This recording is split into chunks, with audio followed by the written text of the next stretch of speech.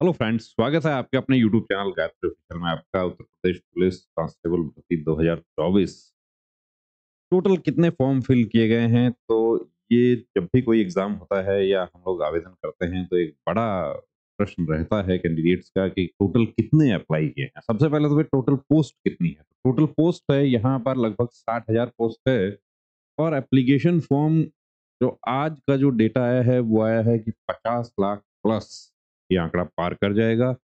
18 फरवरी को क्या एग्ज़ाम हो पाएगा? तो देखिए, पुलिस प्रोन्नति बोर्ड की पूरी तैयारी है कि 18 फरवरी को एग्ज़ाम हो और एग्ज़ाम निश्चित रूप से आप लोग तैयार रहिए कि आपका 18 को ही होगा।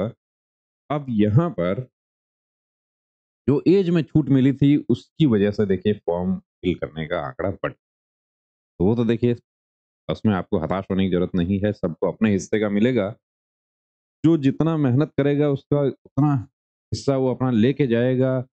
अब महिलाएँ भी बड़ी संख्या में आवेदन किया है। टोटल एप्लीकेशन पचास लाख चौदह हज़ार नौ सौ चौबीस एप्लीकेशन। इसमें से अड़तालीस लाख अट्ठारह हज़ार पाँच सौ अट्ठासी का फ़ी पेड हो गया है। एसबीआई डिटेल कुछ एप्लीकेशन का पेंडिंग है। तो आप ये मान के चलिए कि ये पचास लाख प्लस हो जाए। महिलाओं ने भी बड़ी संख्या में आवेदन किया है कि महिलाओं के लगभग बारह हज़ार पोस्ट है और उसके लिए पंद्रह लाख आवेदन आए हैं। यानी महिलाओं के लिए एक पोस्ट के लिए वन इज़ टू एक सौ पच्चीस। आप देख रहे हैं कि कितना टफ कॉम्पिटिशन अब आपको कितना चाहिए?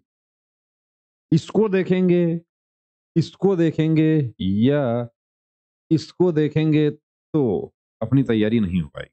अपने को तैयारी करनी है सिर्फ़ और सिर्फ़ इसके लिए। एक पोस्ट।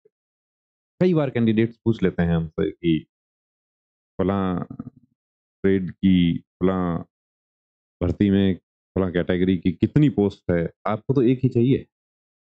तो आपको तो एक ही चाहिए, एक के लिए पूरी ताकत लगा दो कि अब रुकना नहीं, थमना नहीं, अब ठानना है। क्या ठानना है? वर्दी तो हर हाल में पाना है। क्या है